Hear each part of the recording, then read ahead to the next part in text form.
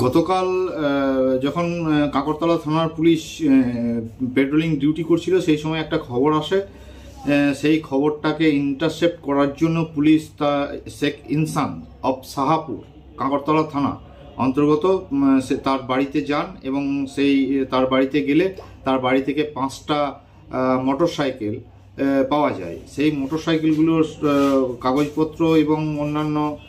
কিছু পুলিশ যখন শেখ ইনসানের কাছ থেকে চান, তখন তিনি সদুত্তর দিতে পারেন না এবং থানায় ওনার বিরুদ্ধে সেই পাঁচটা মোটরসাইকেল সেখানে সিজ হয়, সিজার লিস্ট তৈরি করে এবং সিজার লিস্ট তৈরি করে থানায়, ওনাকে অ্যারেস্ট করে থানায় নিয়ে আসেন। এবং ওনার বিরুদ্ধে একটা কমপ্লেন লজ হয়, যার যে কমপ্লেনটা হয়, সেটা হচ্ছে three seventy nine four hundred eleven four thirteen four fourteen এই সেকশনে তার বিরুদ্ধে একটা কমপ্লেন লজ হয় এবং আজকে তাকে আদালতে তোলা হলে তার সমস্ত দিক বিচার বিবেচনা করে আদালত তার বেল পেয়ার রিজেক্ট করেন এবং সেই সঙ্গে পুলিশের যে আবেদন, সেই আবেদন মোতাবেক তিন দিনের পুলিশই অ্যালাউ করেন।